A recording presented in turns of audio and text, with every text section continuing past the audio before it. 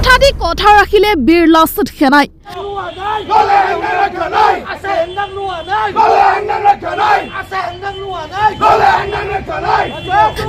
খাৰুপেটৰ পোন্ধৰ নং ৰাষ্ট্ৰীয় ঘাইপথত বাঁহৰ চেওৰা ভাঙিলে লাচিত সেনাই দীৰ্ঘদিন ধৰি নিজৰ দখলত ৰাখিছিল পদপথৰ মাটি। যাৰ ফলত উক্ত ঠাইত দৈনিক সৃষ্টি হয় তীব্ৰ যানজঁটৰ। দৰঙৰ খাৰুপেটীয়াৰ মাজেদি চোৱা পোন্ধৰ নং ৰাষ্ট্ৰীয় ঘাইপথৰ ৰাজ্যিক পৰিবহণ নিগমৰ পাঁচ স্থানৰ বিপৰীতে অতি ব্যস্ত ঘাইপথৰ পদপথ এগৰাকী ব্যৱসায়ীয়ে দীৰ্ঘদিন ধৰি পোন্ধৰ নং ৰাষ্ট্ৰীয় ঘাইপথৰ মাটি বাঁহেৰে জেওৰা দি দখলত ৰাখিছিল। যাৰ ফলত উক্ত ঠাইত দৈনিক সৃষ্টি হয় তীব্ৰ যানজঁট উক্ত জেওৰা আঁতৰ কৰাৰ বাবে ব্যৱসায়ীজনক এমাহৰ সময় বান্ধি দিছিল। বিলাচিত সেনাৰ দৰং জিলা সমিতিয়ে এমাহ পাৰ হোৱাৰ পিছত উক্ত জেওৰা আঁতৰ নকৰাত আছিলাচিত সেনাই ৰাইজৰ স্বাৰ্থত হাতে কামে লাগি উক্ত বাঁহৰ জেওৰা ভাঙি উক্ত পথছোৱা ব্যৱসায়ীজনৰ দখলৰ পৰা মুক্ত কৰে। এই যিখিনি ব্যৱসায়িক প্ৰতিষ্ঠানৰ আজি ভিডিঅ'খিনি দেখিব আপোনালোকে ৰাইজৰ কাৰণে আমি জনাব বিচাৰিছোঁ। যোৱা প্ৰায় এমাহ আগত এমাহ পাৰ এমাহ উকলিছে বাৰু।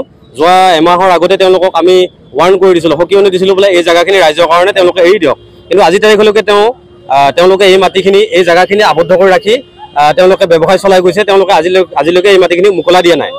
যিহেতু ৰাজহুৱা সম্পত্তি কিহৰ কাৰণে? এইটো এটা নেশ্যনেল হাইৱে পোন্ধৰ নম্বৰ ৰাষ্ট্ৰীয় ঘাইপথ। গতিকে ইয়াতে বিভিন্ন যান জঁটৰ সমস্যাৰ কথা আছে। গতিকে সেই স্বাৰ্থতে আমি ৰাজহুৱা স্বাৰ্থত এইখিনি বস্তু আহ, খালী কৰি দিব দিছিলোঁ। আৰু আজি আমি দৰং জিলা বিলাচী থানা সমিতিয়ে এমাহ উকলি যোৱাৰ পিছত তেওঁলোকক পুনৰ লগ কৰিব আহিছিলোঁ। কিন্তু তেওঁলোকে অলপ দম্বালি মাৰি কথাখিনি ক'লে। কোৱাৰ কাৰণে আমি আহ, এইখন আমি উঠাই দিবলৈ ভাঙি দিবলৈ বাধ্য হ'লোঁ। আহ, কথাখিনিয়ে। আজি তাৰিখৰ পৰা এইখনি আমি ৰাজহুৱা আহ, সম্পত্তি হিচাপে ৰাইজৰ কাৰণে ৰাইজৰ স্বাৰ্থত আমি আহ, উৎসৰ্গা কৰিলোঁ।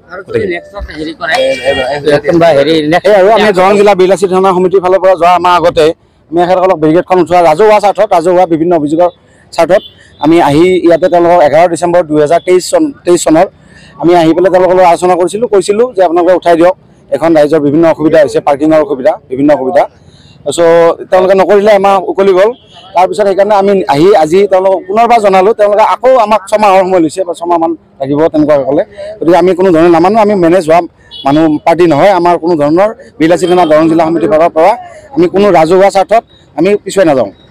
এই গতিকে আৰু ভৱিষ্যতে খাৰুপেটীয়া হওক গোটেই দৰংবাসীৰ কাৰণে আমি বিলাচী থানাই আ, ৰা- ৰাজহুৱা কাম কৰি যাম। ৰাইজৰ ৰাইজৰ স্বাৰ্থৰ বাবে কাম কৰি যাম। ধন্যবাদ। ঠিক আছে।